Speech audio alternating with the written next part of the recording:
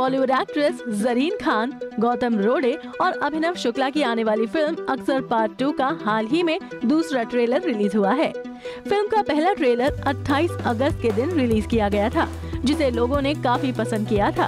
क्योंकि ये फ़िल्म 17 नवंबर के दिन सिनेमा घरों में रिलीज़ होने वाली है तो फ़िल्म के मेकर्स चाहते हैं कि लोगों के अंदर अक्सर पार्ट टू को लेकर उत्साह बना रहे, जिसके चलते फ़िल्म का दूसरा ट्रेलर रिलीज़ किया गया है।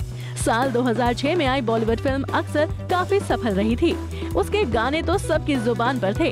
अब 11 सालों बाद अक्सर का सीक्वल अक्सर पार्ट टू आ रहा है।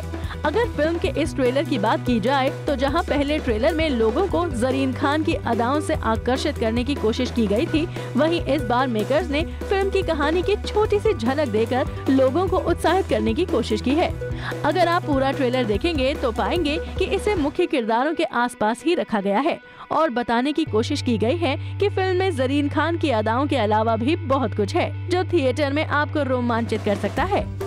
ट्रेलर देखकर लगता है कि क्रिकेटर एस श्रीसंत इस फ़िल्म की यूएसपी साबित हो सकते हैं।